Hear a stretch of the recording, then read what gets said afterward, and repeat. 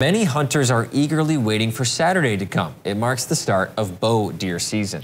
And with so many people getting ready, it's important to keep safety in mind.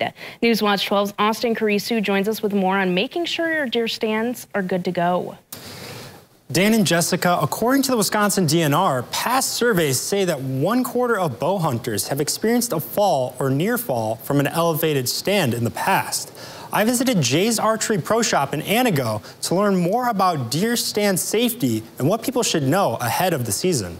Make sure you're just up to date on hunter safety, you know, read your rules, your regulations. With the start of deer, crossbow, and archery season right around the corner, it is important for hunters to make sure their deer stands are up to date on safety precautions. Check all your equipment over and make sure that there is no loose bolts and make sure your straps are not weather checked and uh, replace them if they need to be. While the safety harness's primary function is to keep the person secure, Walvigal says that the equipment could also be used as a beneficial device while in the trees. It's actually a really nice tool to use.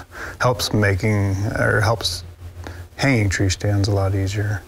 So it's not only a safety factor, but it's a tool that you can use in your arsenal that will actually help you. If it is your first time crossbow or archery hunting, make sure you know where to connect your harness to the tree. Your point of contacts, you know, make sure you're footing uh, and you have multiple point of contacts on the tree limbs, you know, tree steps, uh, whatever it may be that you're climbing up. It is also important to have a survival kit and first aid equipment in case you are in a place with no cell service. Always make, make yourself aware of safety.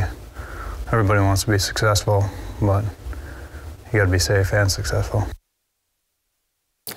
Of course, best of luck to everyone with the season starting Saturday and running through January 7th of 2024. For more information on the season, people can visit the Wisconsin DNR's website.